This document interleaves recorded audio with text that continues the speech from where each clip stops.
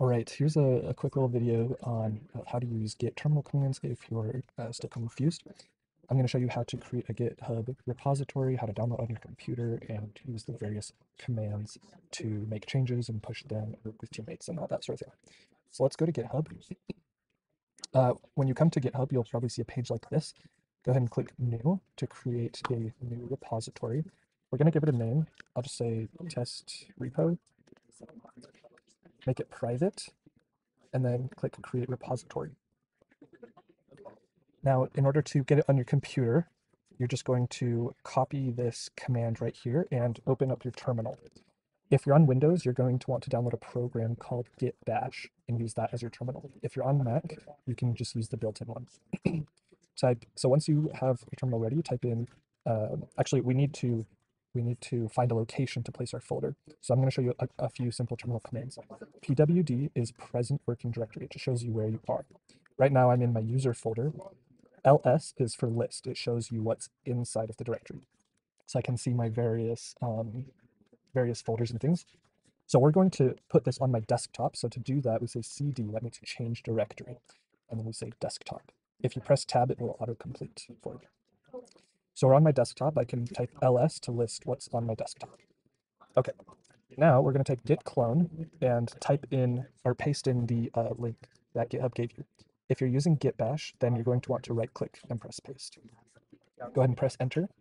It'll say it's cloning the repo. It may ask you for your uh, computer's login password. Okay, so it says you appear to have cloned an empty repository. That's totally fine. Let's go find it. So it's right here. It's created this empty folder for us. Okay. Now, if we refresh this, it'll look the same because we haven't added any files yet. So let's go make some changes. We'll open up VS Code and click File, Open Folder, and we'll go locate the test repo. Great, so let's just put in a, a test Python file, and we'll just say print hello world. Now, uh, this this code that I've made is only on my local computer. It hasn't been pushed up to GitHub yet. Now, I'll show you how this works with this diagram.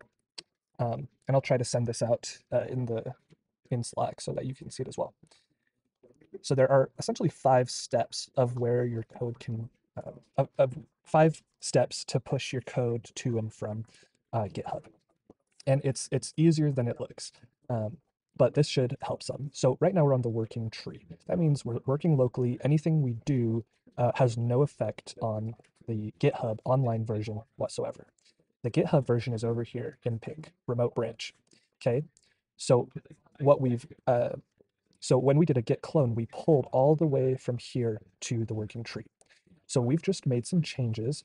And over here, if you click on source control, it will show you how many changes you've made um, to your code. Okay, so back to the picture. We made some changes, so we need to push them to what's called the index or staging area. This essentially just prepares it to make a new version of the code, so to speak. So what we will do is run the git add command. We'll go ahead and do that right now. Uh, for Mac and Windows, press Control backtick to open a new terminal. If you're on Windows, it may say PS over here, and that means PowerShell um, you're going to want to click this drop down here and select git bash. On Mac, you shouldn't have to change it. So what we're going to do, it's uh, this terminal is already locate. We're already sitting inside of our test repo folder. So let's type git status. Git status just shows the status of your code, uh, where it is along this pipeline. So right now it's untracked, meaning we haven't added it or prepared it for um, pushing yet. It's red. So let's type git add period. The period will just add any files in this folder that have been changed. Now if we type git status, it's green. It says we haven't committed anything yet, but these changes are ready to be committed. So if we look at this, we've just added it and we're in this staging area, this index. Now we need to push it to our local branch. What this will do is essentially create a version of the code. Each time you create a commit, you're creating a new version of the code and you can see a history of all of the versions of your code. That's why we call so. Okay. So now to get it to this blue local branch, we type git commit. And do space dash m. We're going to write a message which will essentially say it's a description, a short description of what this commit is. We're just going to say created test dot py. Make sure to close it with quotes and press enter. So you'll see one file was changed and um, now it has been committed. So if we press git status, it says um, nothing nothing to commit because we've already we've already committed. Um, however, we're still it's still not online yet. So if we go back to our picture, now we're here. We've committed it. So one last step, we need to push it all the way to the remote branch, which is the online version. So you say git push, press enter.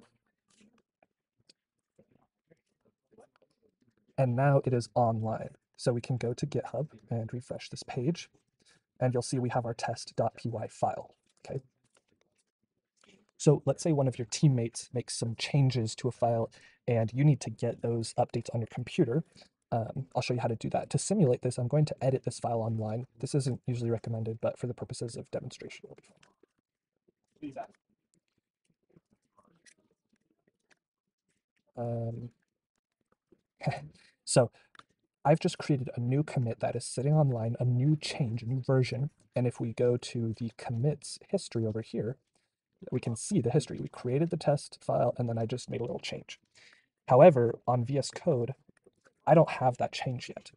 So what's happening is that change is sitting on the remote branch, but it's not in the working tree. So in order to get it to the working tree, we'll first type git fetch. And what this will do is it will fetch any updates from the server just so that our computer is aware of them. So if we type git status, it will say that our branch is one behind origin main. Origin just essentially means the remote branch. So we're behind by a commit and we need to update our local code. We can do this by typing git pull, and this will pull the updates down to our local tree. And you'll see that our code is immediately changed. So back to the diagram, we did our git fetch, which just told our computer, hey, there's some changes, just so you know. And then we said, okay, we want those changes, so we pulled it all the way down. Awesome. So now what if your teammates want to edit this code? Let's see how we can do that.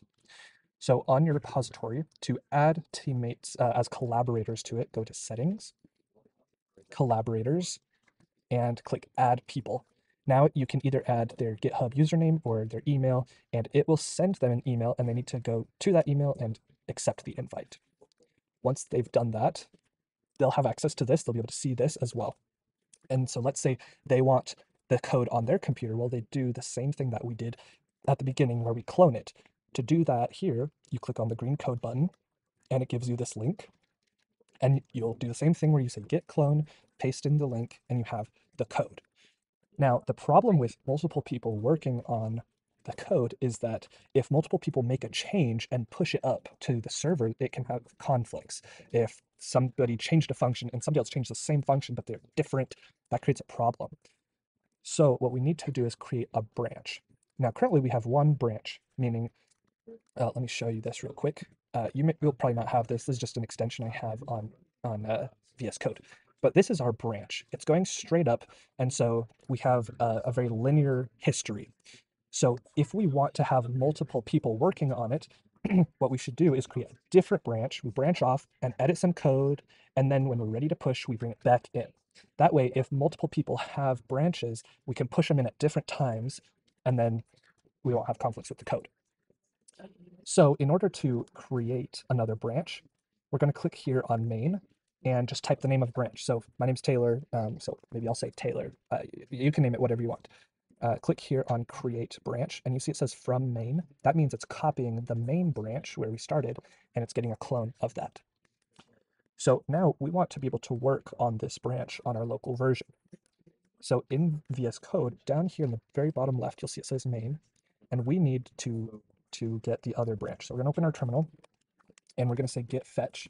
This is going to let our computer know that, hey, there's another branch out there, just in case you want it, okay? And it says new branch, Taylor. so in order to um, to use that, we're going to use checkout. Checkout just means it's like you're checking out a book at the library. We're going to check out this code and return this other one. So we say git checkout Taylor. And so now it says branch Taylor set up to track origin Taylor. What that means is when we make changes here and we update it, it's going to update the online Taylor branch. So let's make a quick update. Say print hi um, Taylor. Okay. Oh. Okay. So we have um, this new change right here. And again, if we type git status, it's going to say that we need to add it. So we go through the same process. We say git add period git commit dash m end quotes and say add it Taylor. Let's enter. We've created the commit. Now we push it. And now it's um, now it's online, but it's not in the main branch. Let's go check it out refresh this, and it says, okay, we're on the Taylor branch. This branch is one commit ahead of main. So it's more recent, has more recent changes than the main branch. And we see it had uh, recent pushes less than a minute ago. So if we want to merge this code with our main branch, we click compare and pull request. And then right here, it says we're comparing the Taylor branch to the main branch. Um, so we can just leave that the same and say create pull request. It's going to check if there's any conflicts with the merge. If there are, it will have you manually edit the code to fix the conflicts, or it'll have you decide if you want to keep your version or the online version of the file that has conflicts. Here, there are no conflicts, so we just say merge pull request and confirm. But let's look at uh, code here, and we see that we have our main branch, our Taylor branch, and now if we look in our Git history, we can see that it added this um, this merge in. So let's look at this uh, visually. Um, I'm going to do a git fetch so that we know that the changes were made online. Okay. So now my graph shows something interesting. It said it shows that we were going straight up and then we branched out and made a change and then we came back in. And that's essentially what we're doing is you make lots of branches, they make changes, they come back in, and ultimately all of the changes get put into the main branch. And uh, that's Git. If you have any questions, um, feel free to reach out. I'd love to help in any way and uh, wish you luck.